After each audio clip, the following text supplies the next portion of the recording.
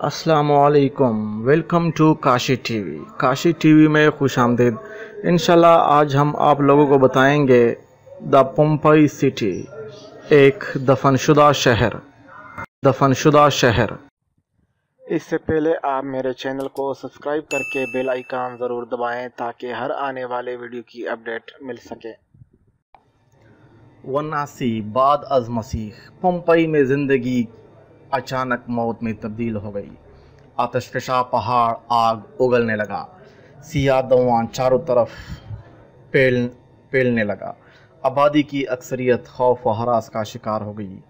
कुछ लोग, लोगों ने अपने आप को अपने घरों में बंद कर लिया। वो ये उम्मीद रखते थे कि ये मुसीबत की घड़ी बलाखिर टल जाएगी। लेकिन वो बच भी न सके। और जहरीले दवे के असरात की बदौलत मौत से हम हम किनारा हो गए। इनकी लाशें ज़र ज़मीन दब कर रह गई और 1600 बरस तक ज़र ज़मीन दबे रहीं। इस सानहा का रिकॉर्ड एक रोमन लिकारी पिलनी दी यंगर ने रखा, जो बाग निकलने में कामयाब हो गया था।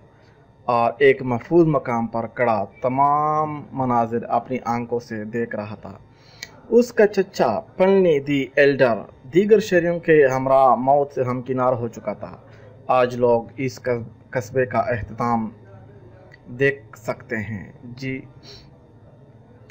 अठारहवें सदी में पंपई की खुदाई का काम शुरू हुआ और इस खुदाई के नतीजे में रोम के इस कब्ज़े की ज़िंदगी का इंकशाफ हुआ।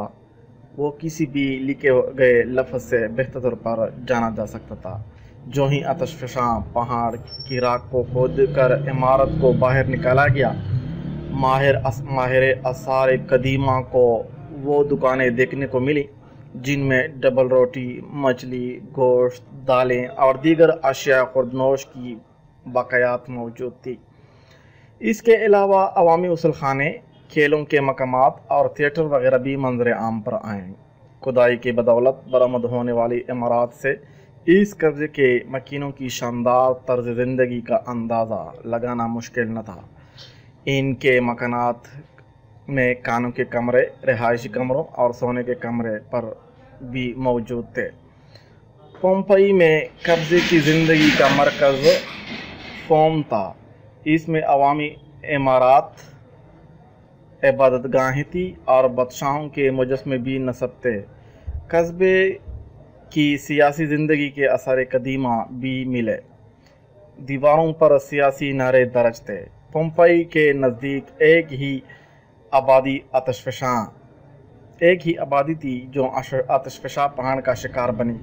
ये आबादी आतशफशा पहाड़ के लावे से, तबाही से हमकिनार न हुई थी, बल्कि खुलती हुई गली मिट्टी से तबाही से हमकिनार हुई थी।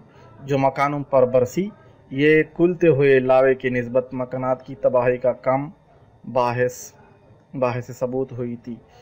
इस मिट्टी ने मकानात का महफूज बना दिया था, जो कि अब अपनी असली हालत में वापस लाए जा चुके हैं, जो इटली में 2000 बरस बिस्तर गुजारी जाने वाली ज़िंदगी का नमूना पेश करते हैं। बाहर से सबूत हुई थी। इस मिट्टी ने मकानात का महफूज बना दिया था, जो कि अब अपनी असली हालत में वापस लाए जा चुके हैं, जो इटली में 2000 बरस बिस्तर गुजारी जाने वाली ज़िंदगी का नमूना पेश करते हैं, पेश करते हैं। ये थी हमारी वीडियो, मिलते हैं किसी दूसरी वीडियो में, तब तक के लिए इजाज़त चाहता हूँ। अल्लाह हाफिज़ थैंक्स फॉर वाचिंग